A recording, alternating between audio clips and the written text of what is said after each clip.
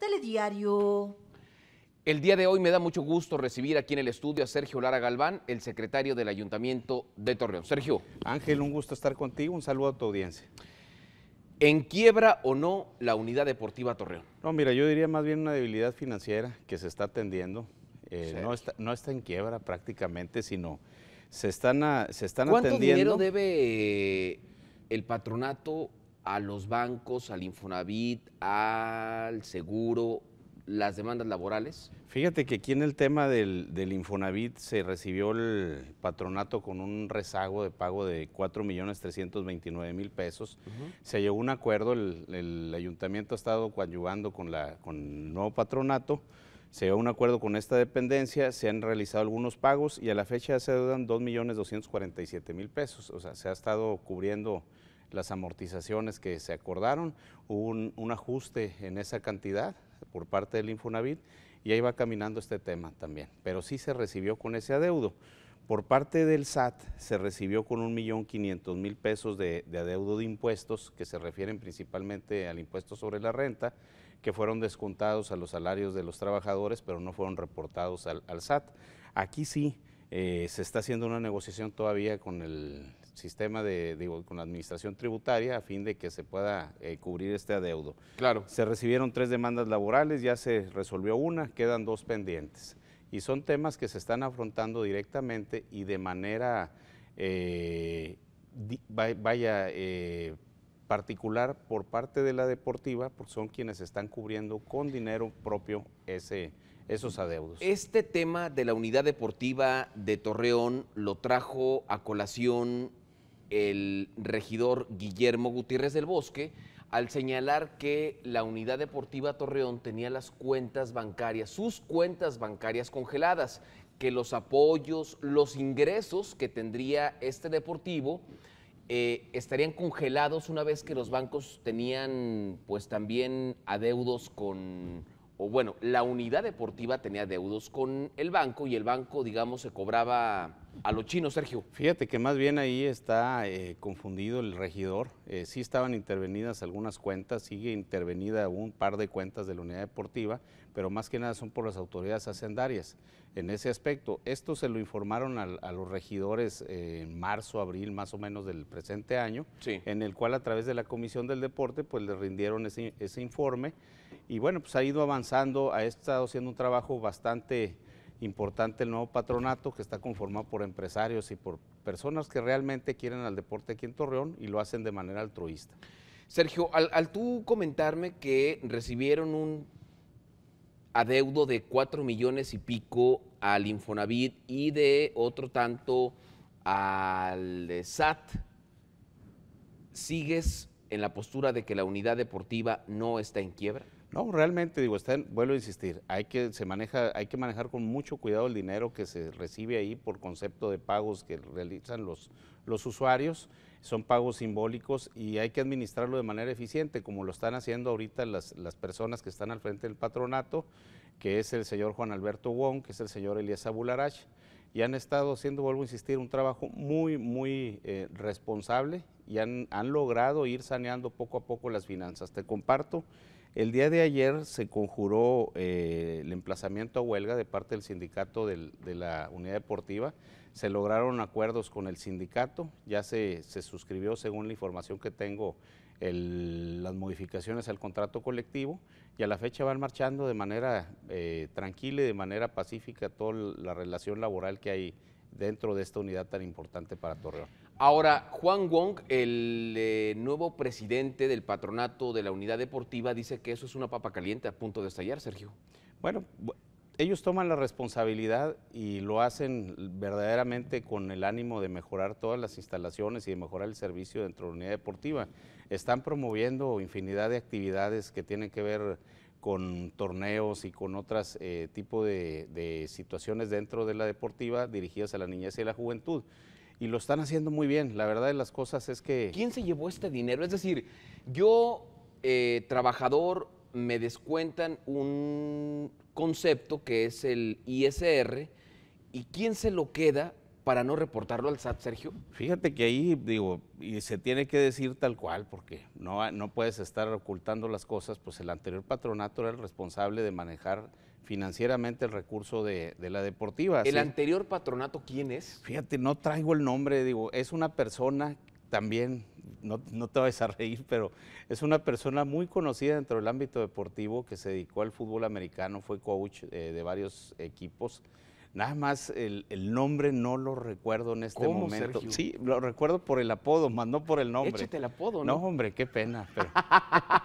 es que es una persona más o menos contemporánea, un poquillo más grande que yo, pero es muy reconocido y es un buen hombre. Pues el apodo, y ahorita eh, lo sacamos. La gente nos, va a decir cómo se llama, Sergio. Mira, eh, es, vuelvo a insistir, le decían el chicle o le dicen el chicle, pero es, es un muy buen hombre. El detalle es que a pues través de, la, de la auditoría surgen estos, estos manejos. O sea, al chicle se le pegaron no, algunos milloncitos, ¿no, Sergio? La administración debe de ser autosuficiente. Actualmente el patronato no le ha pedido ni un 5 al, al municipio, no ha solicitado un préstamo, ha estado en contacto directo con la tesorería, con un servidor se les ha estado apoyando, pero el recurso que han estado recibiendo lo han estado administrando para pagar sueldos, para pagar impuestos, para pagar adeudos anteriores. Pero, a ver, eh, entonces yo me convierto en el presidente de la Unidad Deportiva Torreón.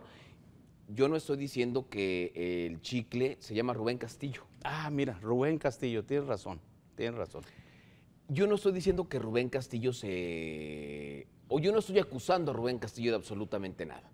Pero yo llego y soy presidente del patronato y de pronto no reporto 4 millones 329 mil pesos al Infonavit y llega a Bularach con Wong y no pasó nada. ¿No va a pasar nada, Sergio? No, claro que va a pasar. Digo, necesariamente se tienen que seguir los cauces legales.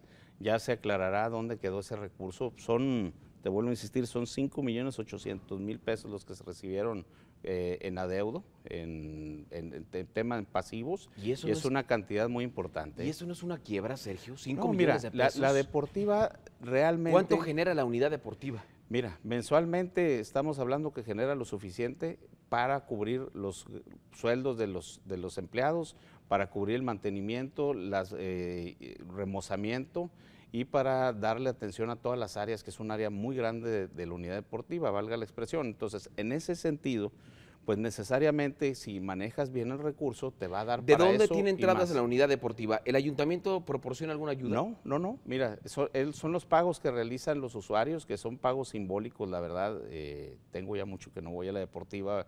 He ido a la Academia de la Policía y otros, pero te Puro campestre, Sergio. No, hombre, no, no, no, no soy socio del campestre ni de ni, de, ni mucho menos, pero ha de andar alrededor de 10 pesos el pago de la entrada. ¿Y, de 10 pesos te vas a ganar 5 millones para el mantenimiento? Es que va muchísima gente a, la unidad deportiva, aún y cuando hay otros centros deportivos ya en Torreón.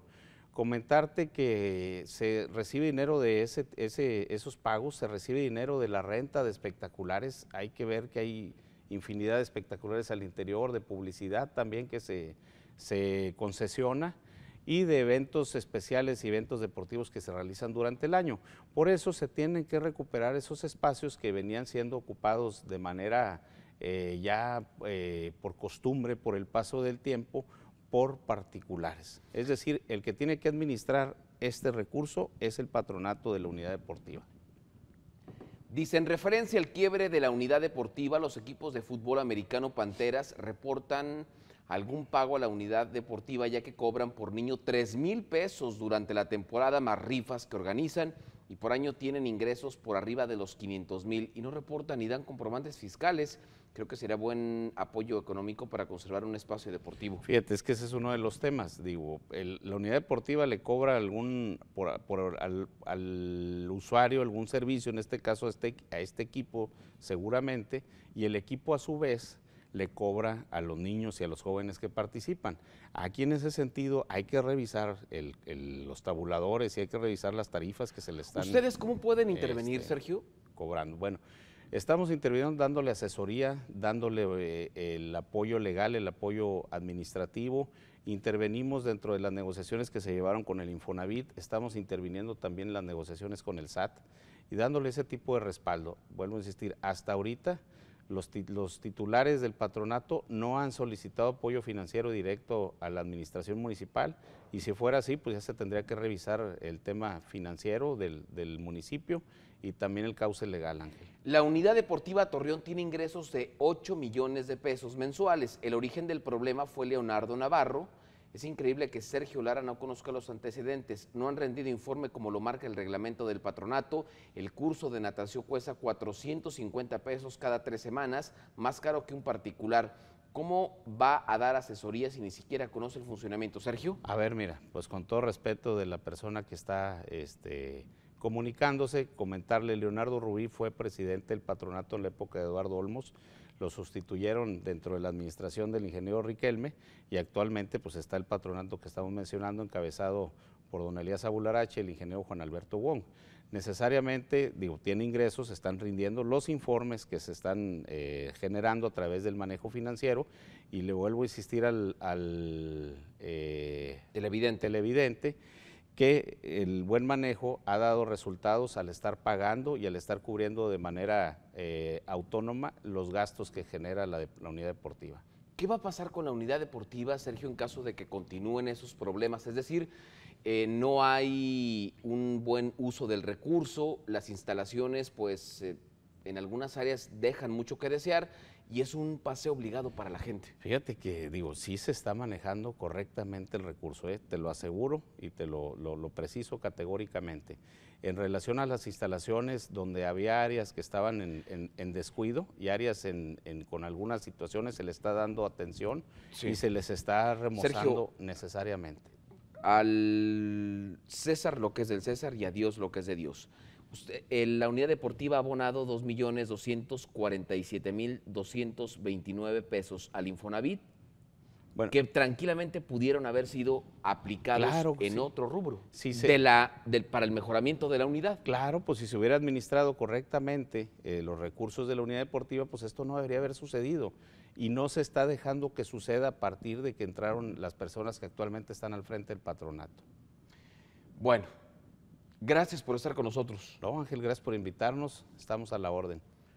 Dice esta persona, yo siempre voy tres días a la deportiva. Muy bien. Hola, buenos días. Dice, mi abuelo trabajó en la deportiva y cuando lo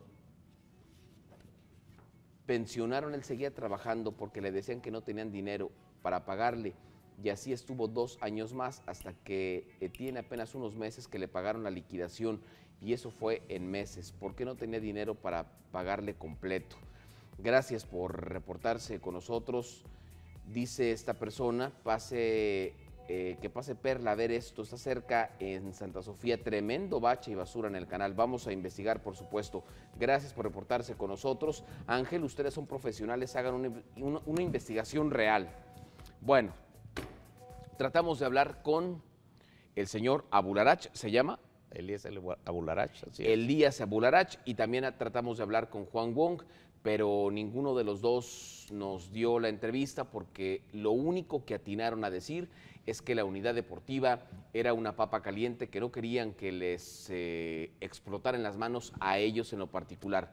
¿Y el Chicles va a, comparecer ante alguna instancia, Sergio? Bueno, la Contraloría ya trae ese tema y los van a mandar citar también para que hagan las, aclaraciones pertinentes. Rubén Castillo, ¿eh? Rubén Castillo. Qué bueno que nos lo, nos lo aclararon ahí los televidentes y qué pena, pero la verdad es que lo recordé a través de ese apelativo. Pero es una persona muy reconocida en el ámbito del fútbol americano.